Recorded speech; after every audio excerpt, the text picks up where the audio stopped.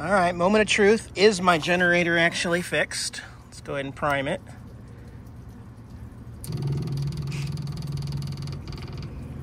Sounds like it's primed. Let's make sure. Yeah, it's primed. It's ready. Here we go.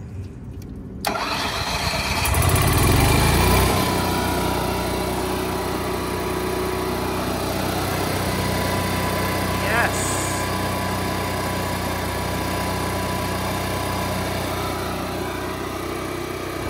Now that's a good feeling, guys. I like that. Good morning, everyone. Eric here from Nomadic Fanatic. I could not test my generator where I was parked there in Yuma because once again I was under a quarter tank of gas. Did not plan the trip. I forgot that I wanted to test the generator. But it works. It works great. Thank you, RV Prepper Wayne, for fixing my brand new Onan generator once again. We'll see how long it lasts. I am traveling with my Honda 2200i inverter generator as a backup as well. But yeah, guys, we're on the road, eastbound and down, testing out the brand new microphone. I've got a new Sony integrated shotgun microphone. It's tiny on the top of the camera. It's directional. It has the windscreen, the wind muff for uh, going into windy locations. And uh, hopefully, audio is better finally. Thanks for joining me on the channel today, guys. I will be uploading this video with some Connecten internet. Check out the video description below for more details on high-speed unlimited internet anywhere. Here we go.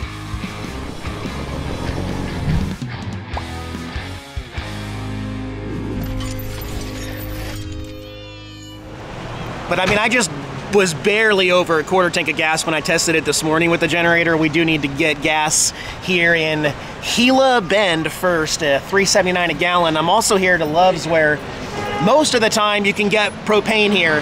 One of the cool things about Love's compared to like Flying J or Pilot is that if they pump propane, they pump propane and they advertise 24 hours a day. So if you see a tank, which at this particular store there is no white propane tank to fill up my propane, but if you see one, Love's will fill it up 24 hours a day. Um, I'm actually running the fridge on electric right now, pulling 370 watts because I am out of propane. But while we're here in Gila Bend, there's a really cool restaurant I want to go try here for lunch, and then we'll look for propane, and then we'll head towards Tucson. um, Wells Fargo Bank just flagged me uh, for suspicious activity on my card. Not initially. Um, it worked here. It let me pump $150 worth of gas. That's the limit here. And then it shut it off. Well, I didn't have a full tank. So I swiped my card again. It said declined. As I'm going to, to, grab my wallet, my phone started ringing again, just like it did in Vegas, and it was Wells Fargo Bank, an actual person asking me if I was trying to use my card at the gas station. I said, yes, I used it the first time. I'm trying to fill up my tank, and it got suspicious. She's like, okay, I've reactivated it for you. And then I was able to put another $9 in. you know, it's like, you don't, each bank is, is different in their own ways. I, man, I cannot believe how many problems I had with Bank of America originally. At least now with Wells Fargo, when they suspect or detect possible fraud, which I have no idea why swiping my card twice at a gas pump initially targets that. It's happened before, but at least they fixed it, reinstated it, and now we can go spend my money at a restaurant here in Gila Bend. A really cool looking one. I hope it's open. All right, we're here. They're open. It's a little warm today. It's going to be 84 degrees, so for the kiddies for the next 30 or 40 minutes, we'll crank on the AC here. There we go. The compressor will kick on in just a minute. Right now, we're pulling 276 watts because the fridge has shut off for now. Oh, there we go. 1,000 watts, 1,100 watts.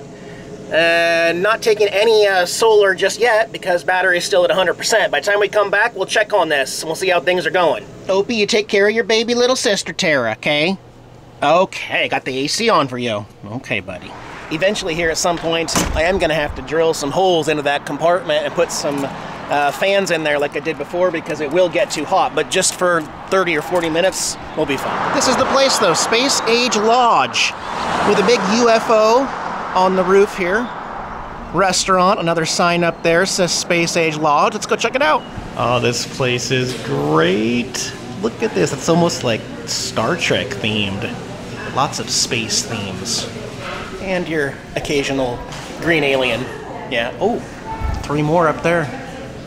No magnets here. They do have space age coffee cups, which are cool, but I'm gonna put in an order.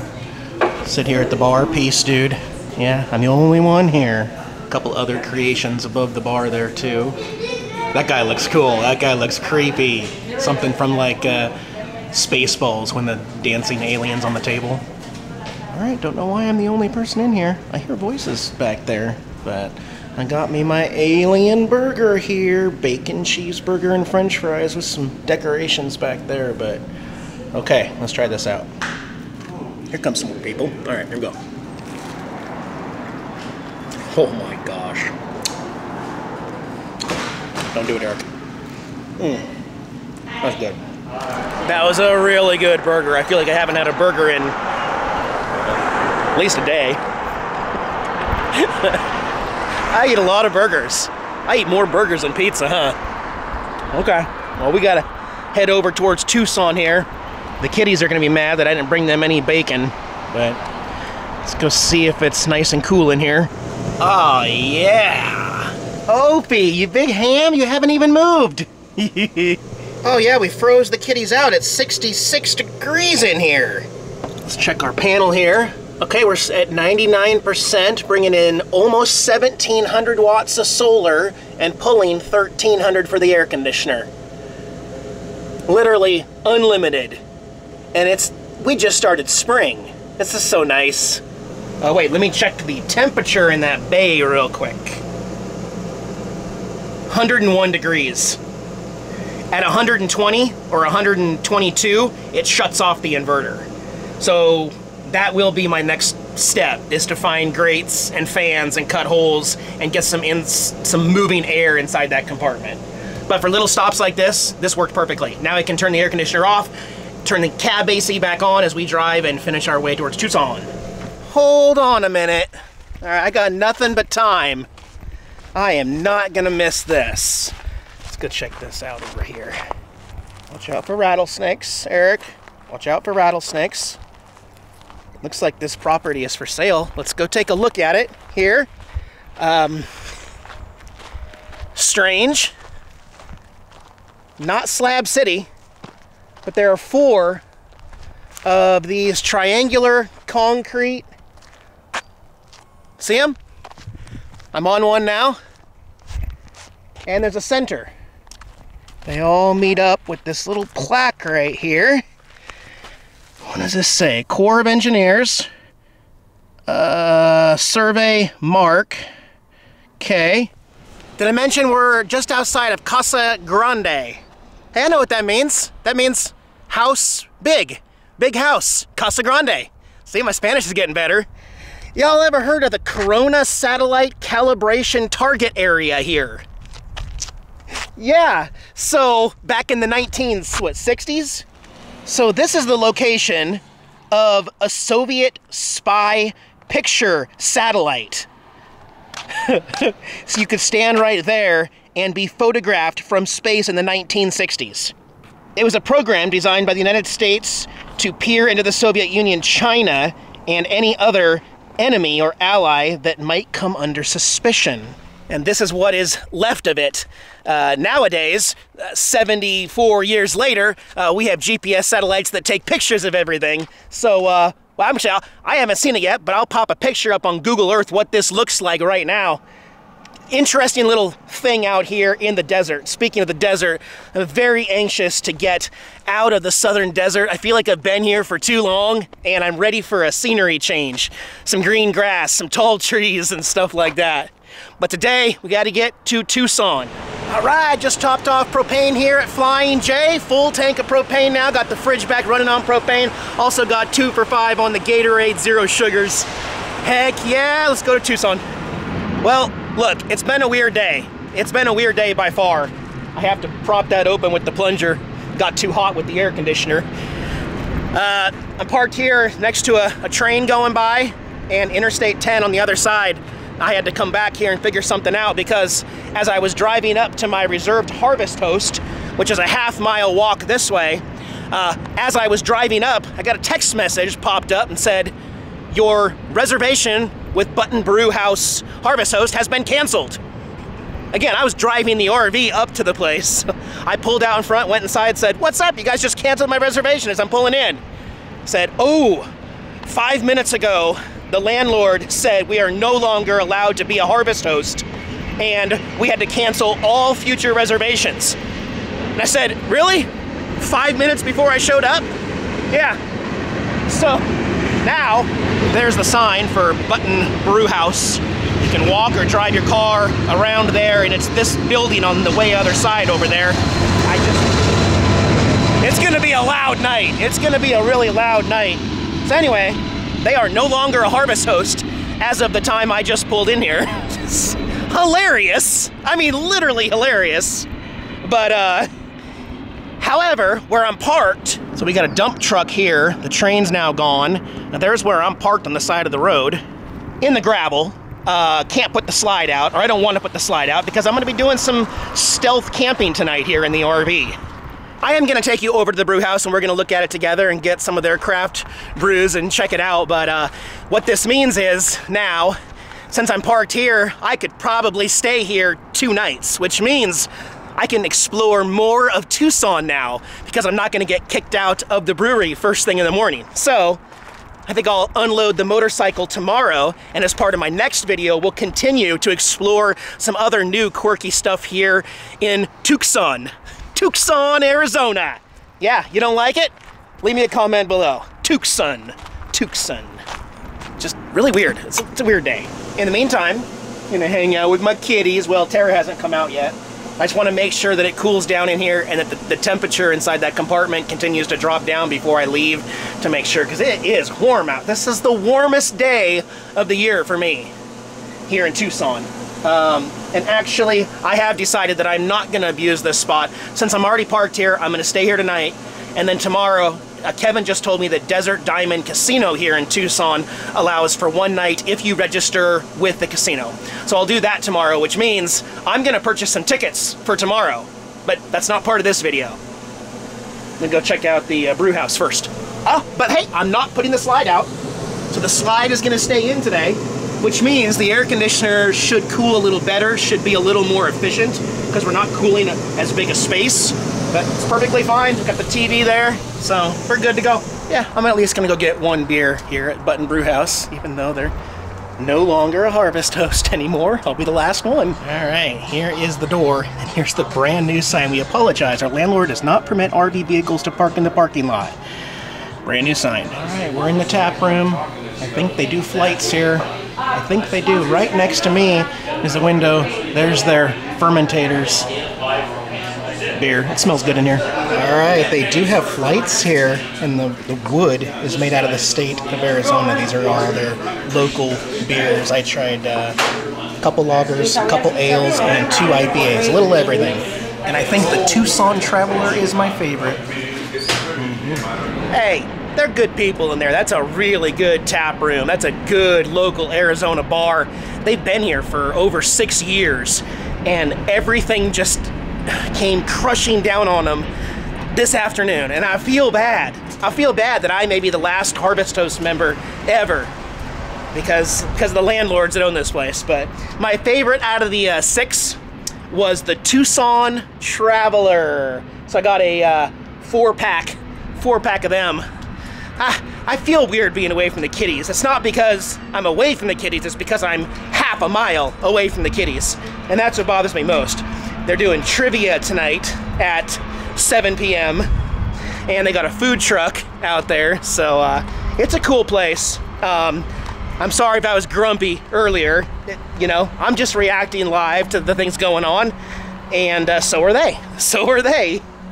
But uh, they've they've hired an attorney and they got to go talk with a lawyer next week about what the landlord's doing to them. So it kind of sucks that it's now they have to take legal action against them. But Anyways, get back to the RV, check on the kitties, make sure that AC is still working.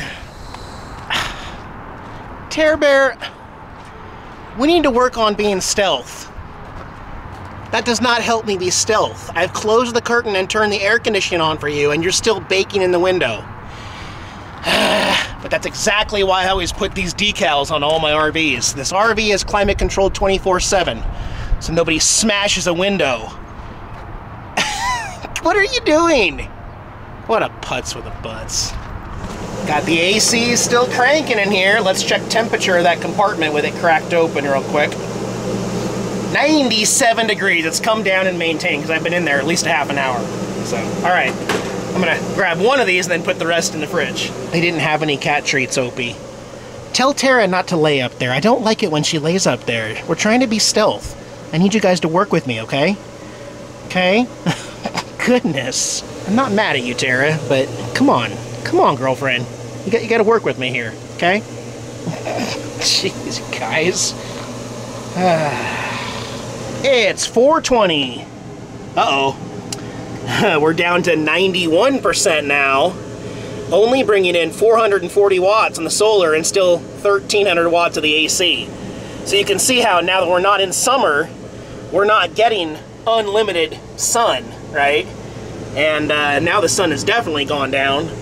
I will have to fire up the generator if I want to keep using this, probably. Probably. Do we need to, Opie? Do you think we should keep running the AC for the kitty kitties? Okay, there's another train going by out there. Yep, another train. What the heck? The generator won't start. I've been trying inside. It's primed. Trying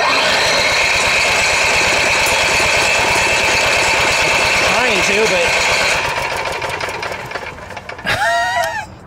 I've been trying for like five minutes. The generator will not run, and I've got three quarter tank of gas this time.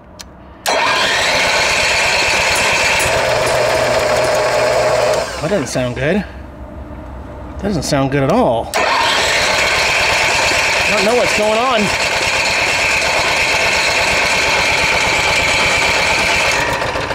Hang on.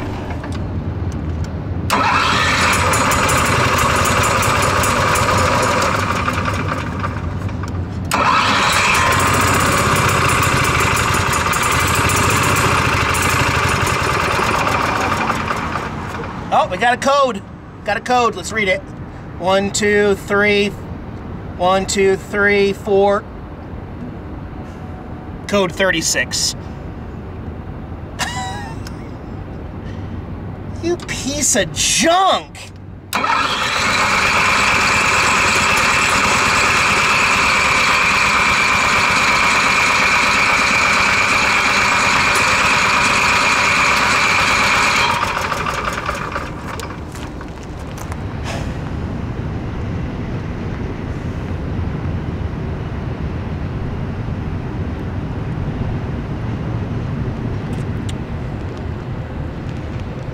Pull out my Honda.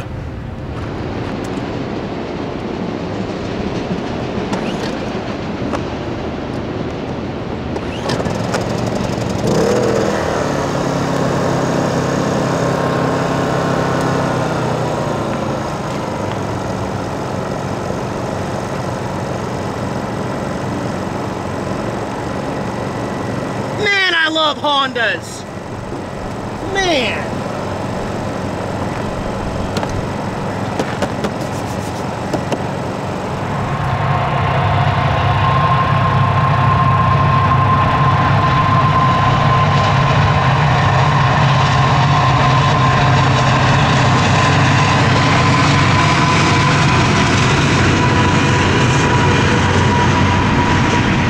I turned the air conditioner off. I'm just charging the battery right now at 94%, so I'm not gonna run the Honda much longer, but uh, every day with that Onan generator over there, guys, I've been I've been battling this for over a decade, and I'm, I'm still trying to keep a positive attitude. Although I don't understand why Onan Onan as a company is still in business. I don't know how they're still getting business. This Honda runs perfect, runs, just works. So great, it's so quiet, so reliable, it's so simple and stupid. It just works. Anyways, got my tickets for tomorrow, so we'll, my next video will be a really fun one from Tucson, Arizona. Tucson, Arizona. And uh, in the meantime, I'm still traveling towards Texas, planning to see mom for Easter this year. And uh, got about 700 miles till I hit the start of Texas, and I've got to get to the other side of Texas. and work on getting the RV registered still. Ah, man. Life on the road. I never said it was easy. I never said it was cheap. And obviously, don't do what I do, blah, blah, blah. Because it's a constant adventure, guys. Constant adventure. I still like it most of the time. but let me charge up all my batteries here and get ready for my next video, get this edited here tonight, and then I will see you in a few days. You guys be well. Bye-bye.